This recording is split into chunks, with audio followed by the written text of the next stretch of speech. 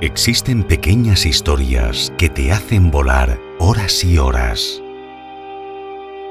Abra el libro por donde quiera y disfrute de cada uno de estos 100 microcuentos de Inés mientras el cielo va cambiando de color.